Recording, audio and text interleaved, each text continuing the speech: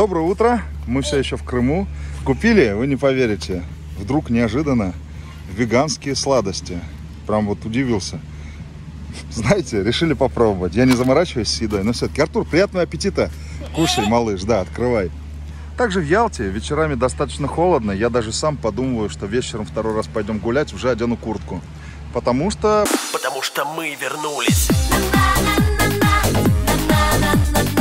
Прямо в футболках уже становится холодновато.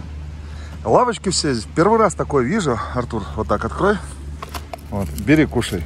Это все натуральное совершенно, поэтому надеюсь, тебе понравится. Я первый раз вижу, лавочки обрызгивают, они все мокрые. Ну, для чистоты. Я такого нигде не видел, ни в Москве, нигде, ни разу. А здесь такое есть. Ладно, приятного просмотра. В это очень непростое, тяжелое время. Мира всем нам. Э, Это действительно так. Мира всем нам. Пойдем дальше. Друзья, я, конечно, очень рад, что Артура смог вывести в лето, потому что даже в Ростове, ну, в Ростове бывшая жена с детьми сейчас живет, даже там уже не так, как на море. И все-таки море, я вот сейчас сюда кусочек видео вставлю, снят несколько дней назад. Еще здорово так заходишь в номер, а здесь море. А еще, знаете, я ощутил, какой кайф, сейчас покажу. Вот сидишь, работаешь за ноутбуком, а за спиной у тебя море, видите? Вон, вон там. Конечно, в этом плане оно как для фона очень здорово. По-настоящему круто, когда сидишь, работаешь, что-то делаешь за ноутбуком. Зеркало, и за ним море отражается. Я бы хотел, конечно, в таком месте жить. Хотя, повторюсь, для меня всегда горы были, были приоритетом, не море. Он у меня потерялся. Вот, как там по поводу зеркала, по поводу вида на море. Я все-таки здесь, вот именно в Ялте, море полюбил больше, чем где бы то ни было. Хотя, знаете, э, постоянно говорю одно и то же, что для меня горы всегда важно. А море, ну, есть и хорошо. Никогда не было такого, что я прям море это все. Но здесь, в Ялте, оно, ну, опять же, оно такое же точно, как, к примеру, да, наверное, в Сочи или где поближе здесь, а здесь Анапа ближайшая, насколько я понимаю, по карте помню. Оно, в принципе, такое же. Просто сейчас э, цвет его другой, и э, жары такой нет жесткой, как, к примеру, в июле, в августе, когда мы отдыхали. Но все равно, сейчас как-то на море я смотрю по-другому. И вот это вот, когда ты просыпаешься, и вид на море, я теперь понимаю, почему в той же Сочи, к примеру, да и здесь в Крыму цены тоже очень сильно высокие, особенно с видом на море, почему такие цены? Потому что в Сочи, я уже говорил, какие-то совершенно нереально безумные, просто чокнутые цифры, абсолютное безумие, когда там 30 миллионов может стоить студия с видом на море, а то и больше. Это в Сочи, понимаете? Это, ну, вообще просто невозможно э, понять, осознать, потому что, э, безусловно, Россия это страна, которую я люблю. Ну, знаете, имея такие сумасшедшие деньги, по крайней мере, раньше, ну, можно же купить просто какую-то виллу. Ну, пересчитайте на доллары, это же будет сумасшедшие сотни тысяч долларов. Как, если, конечно, не брать какой-нибудь Майами, там, дорогие города мира или, ну, западные, то, ну, вы посмотрите, интернет, за эти деньги вместо студии здесь, например, 25 метров, а то и меньше, можно же купить что-то, чувствовать себя каким-то графом, в хорошем смысле слова. Я же был в Европе, путешествовал, очень... На Кипре, кстати, не знаю, но, возможно, я думаю, за эти же несколько сотен тысяч евро можно купить прекрасный домик. И понимаете, уровень другой совершенно. Ты купишь дом, вот мы на Кипре были, я все время про Кипр, но просто я там был больше всего. Я Давид, мы на Кипре, Пафос. Сегодня 3 мая 2012 года. Все круто. Наконец-то я купил себе солнцезащитные очки.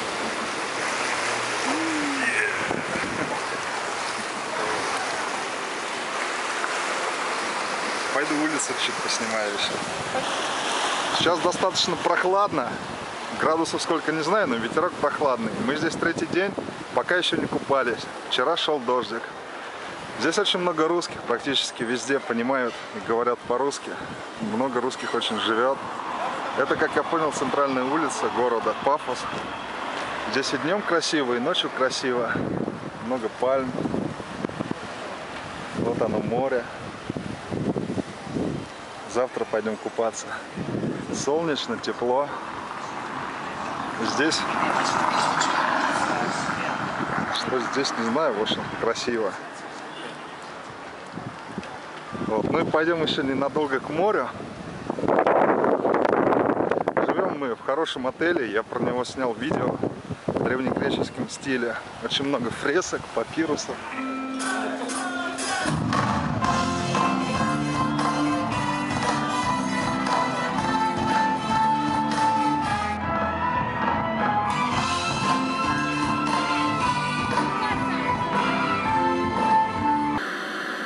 Там, понимаете, вот мы ездили, я квартиру в Москве снимал за 46 тысяч в месяц. Это двушка в Брежневском доме, в Брежневском доме, старом, 70 какого там, третьего, что ли, года постройки. Это кооператив был. Люди, женщина, что сдавала, ее родители, большие молодцы, они аж две квартиры в кооператив взяли, понимаете? Расплатились за них, советская ипотека так называемая была. Я не знаю, всем можно было или только кому-то как вся эта процедура работала, но в советское время, если ты не хотел ждать бесплатную квартиру, ты мог ее купить. Ну, понятно, что за недорого, как-то все было достаточно адекватно. Я разговаривал с людьми, там другой человек в этом доме живет, он тоже кооператив брал. Я не помню суммы, но это все было совершенно не похоже на эту рыночный оскал капитализма, в котором мы сейчас живем. Совсем было все по-другому. Но это к слову. И вот я снимал двушечку, 43 метра, Брежневская. Сосед алкоголик внизу, люди разные. Ну что ты бросаешь, Артур? И, а там я приехал, у меня такой разрыв шаблонов. Я приехал первый раз, да, Артур, в 2012 году. Приехали э, в Пафос, это город такой на Кипре. Город такой отчасти пенсионеров, отчасти молодежи мажорной. То есть ездят на дорогих Порше, Феррари могут гонять по дорогам, а, могут под музыку громкую. То есть, с одной стороны, ну, мажоры, это я так высказался, потому что я, например, там встречал ребята совсем молодые, они еще о России плохо отзываются. Меня это всегда коробило. Если ты уж уехал из России, то какого хера ты страну-то, в которой ты родился, а, оскорблять зачем? Меня это прям вымораживает. Но не в том дело, а в том, что, пожалуйста, вот, да, специфичная Европа, Кипр это такая странная Европа со своим менталитетом, чуть дороже все, потому что это остров, разумеется, логистика дорогая. Но Сейчас, Артур, что, слезть хочешь? Но, про что я говорю? Я снимал за 46 тысяч. Это тысяча, э, сколько? 300 евро или 1000... Это было 1500 долларов или 1000, даже чуть больше. По тому курсу в 2012 году. И за эти же деньги я просто офигел, что мне сказали, ты, говоришь, за 350 евро можешь снять, трех, ну, за 3, а, 380, 400 евро трехкомнатную квартиру с двумя санузлами в доме. Ну, если с видом не на море, то рядом. Ну, с видом на море там на 50 евро дороже. Я просто, я просто охренел, ребята. Я плачу 1300, а тут мне говорят, за 400 можно снять. С видом на море, в европейской стране, где все улыбаются. Опять же, не слушайте этот бред, кто был. Ну, нет такого там бреда, что русских не любят, по крайней мере, раньше. Иди сюда, не ори, иди сюда. То есть там комфортно жить. Мы сейчас пойдем играть. Что ты? Ну, нам не нужно сюда. У нас там есть своя комната игровая. Пойдем. И у меня был просто диссонанс, понимаете? Мы поехали в горы. Да, в горах на машине нужно добраться. Чуть-чуть проехать. Там 10 минут, 15. Не, не высоко в горах. Там дом. По-моему, там 8 комнат. Как вот знаете, мы смотрим фильмы про роскошную жизнь. Вот реально хороший, классный дом. Отличная мебель, огромная кухня. Там три или четыре санузла, как в американских фильмах, в каждой комнате. Хорошего сантехника, хорошая везде, понимаете? Большинство населения России даже таких не бывало, не то что жить. Там есть гостевой туалет, около, там есть бассейн, это нормально в деревнях кипрских, ну, может, и не во всех, но где я был. Там бассейн, и рядом с бассейном есть еще Иди сюда, иди сюда, не ходи туда. И там рядом с бассейном есть еще гостевой туалет. Чтобы вы понимали, гостевой туалет это отдельно стоящее здание, такое же уровня, как в квартире. Там унитаз, рукомойник, все тоже с хорошей сантехникой фаянсовой. Все так же цивильно. И вот это все чудо стоило 1000 евро в месяц. Ну, а я думаю, я за 1500 снимаю, пусть и в Москве, вот эту маленькую двушечку, которая мне даже не принадлежит и не будет принадлежать. Это было так удивительно. Это мысли вслух, я просто делюсь. Каждая из моей истории что-то свое. И, ну, как вы видите, я же не уехал туда. вот. И не из-за того, что делать там нечего. На самом деле мы разговаривали с людьми, там огромная комьюнити русскоязычных. Люди друг другу помогают. Мне сказали, легко найти работу, если ты хотя бы гвозди умеешь забивать, там что-то элементарно сделать, ты уже не пропадешь. Что такое? Артур, вот как всегда, вот, ну люди подумают, что я тебя не кормлю, что ли, или что. Мы сейчас поели, мы второй раз перекусили по пути. Сесть, да? Хорошо. А дальше что? Так, поговорить хочешь со мной? Ну, говори. Ты в детскую комнату. А давай мы не сюда пойдем, а в нашу замечательную детскую комнату в санатории. А? Конечно. Пойдем до морюшка, дойдем и обратно. И вот из всей этой истории, что могу сказать, я думаю, все-таки, скорее всего, дело в том, что такие сумасшедшие деньги, это не выездные покупают. И, ну, просто и бизнесмены. Потому что, при всем уважении к Сочи, мне там понравилось, там классно. Но цены, конечно, перегреты невероятно. Невероятно. Всем привет! Я второй день в Сочи, начинаю свой путь в Дагомысе. Сейчас на замечательной ласточке доеду до Сочи и буду рассказывать вам про город. Я на моноколесе. Здесь показать вам, как люди отдыхают, безусловно, можно и нужно. Раздельный сбор мусора, кстати, не первый раз вижу. Вообще комфортно ну, приятно. Дорого, конечно. Там стаканчик арбуза порезано 250 рублей. Это цена арбуза, а там шестая часть арбуза на самом деле. Ну, такой у нас менталитет. И не говорите мне, что за границей так же. Был я там. Там, если стоит вода 2 евро, то она стоит и в магазине, и у водителя в автобусе, когда у тебя выбора нет, кроме как у него купить. И в аэропорту она 2 евро стоит. И ты в гору поднимешься, матом хочется сказать. Там и туалет тебе бесплатный чистый будет, блин. И тебе будет там и вода те же самые 2 евро стоит, понимаете? Опять же, гуглите, смотрите. Я лично видел объявление, что от 11 миллионов на этапе строительства, ну, дом уже построен, отделка идет. Это рядом Сочи, Джиганат. Вот Джиганат, как он называется, забыл. Ну, рядом, три станции все проехать. Дагомыс, Джиганат. Пойдем сюда. И там от 11 миллионов студия. Притом окна будут, естественно, не на море. Это не Сочи, чтобы вы понимали, это не набережная. Там еще между ними большое расстояние, которое со временем могут достроить. Поэтому такая цена. Но это безумие. Вот. Ладно, пойдемте до морышка. И дальше что-нибудь интересное вам расскажу, покажу. Будут и путешествия чуть позже. Ладно, ну просит так сильно ребенок. Ну зайдем, возьму я пиццу небольшую хотя бы. Что-то оно все падает сейчас. Пойдем, Артур, пойдем. Цены я в прошлом цены я в прошлом выпуске показывал. Но там на набережной дороже. Здесь подешевле немножко. Как бы высказывался подробнее. Ну, как бы после Москвы такие цены не пугают.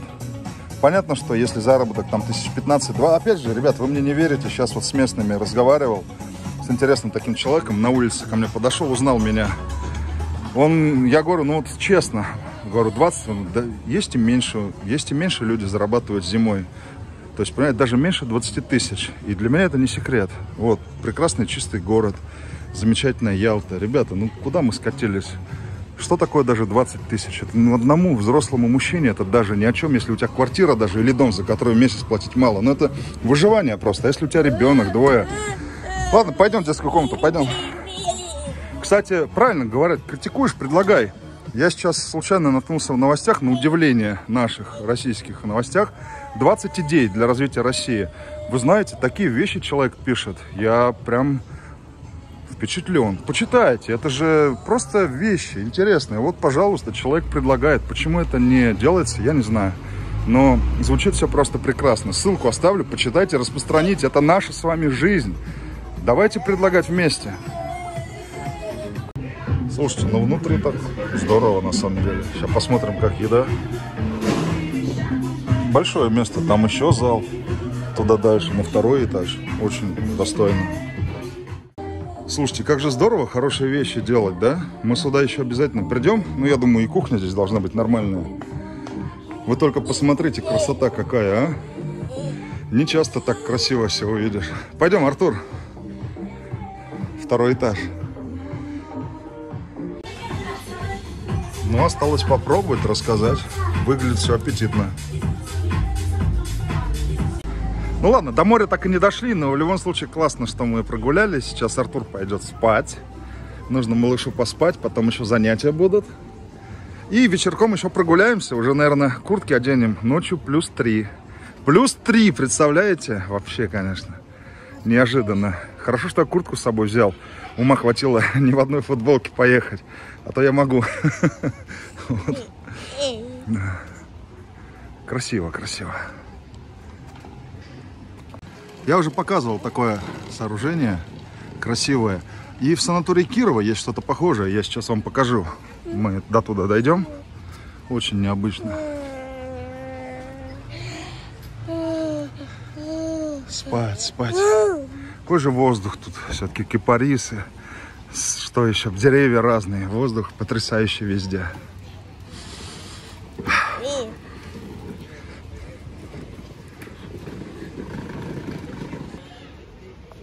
Записались на экскурсию Судак Новый Свет. Чего такое? Вытирай руки, выбрасывай. Сейчас на закорке возьму.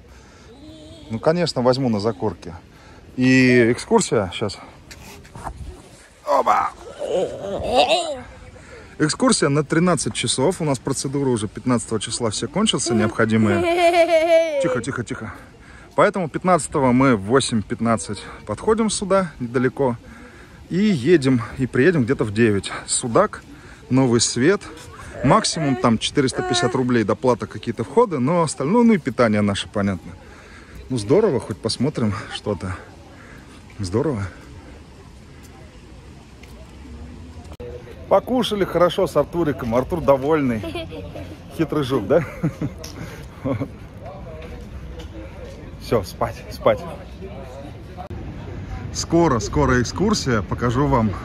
А то все одну и ту же картинку показываю. Хожу по Ялте, по одним и тем же местам фактически.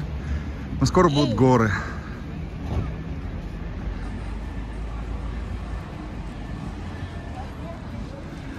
Да, ну не надоедает по таким красивым местам гулять, потому что красиво действительно.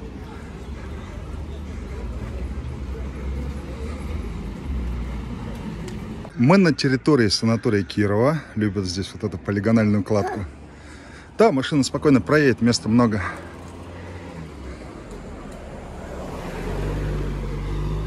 Хочу показать вам такие места красивые. Я уже много показывал всего. Это большой труд.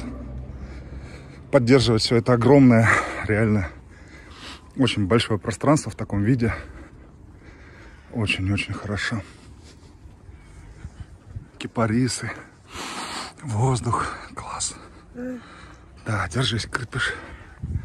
Крепко держись, не елась.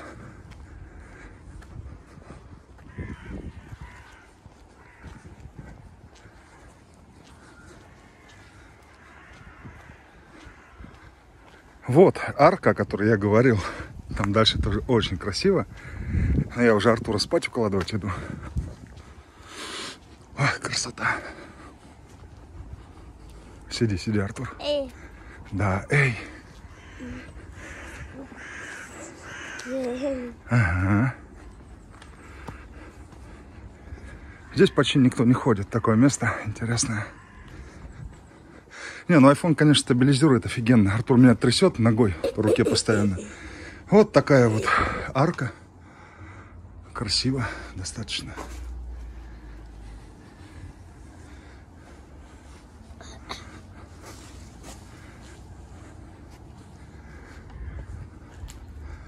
Ну, это современное, судя по всему. Раньше, конечно, делали намного прям идеально. Что-то написано. Давайте, самому интересно. Маршруты номер один, два, Сан-Киров. Ну, это современное уже. Сбилось. Слушайте, вот здесь место классное. Ох, как величественные кипарисы. Да, все, пойдем спать.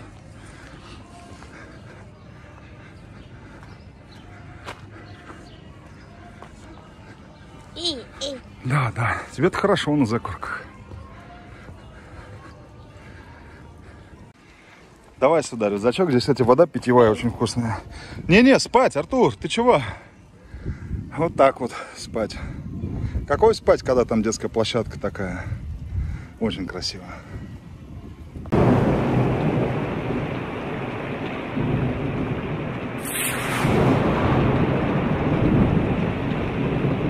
Иди небо, посмотри,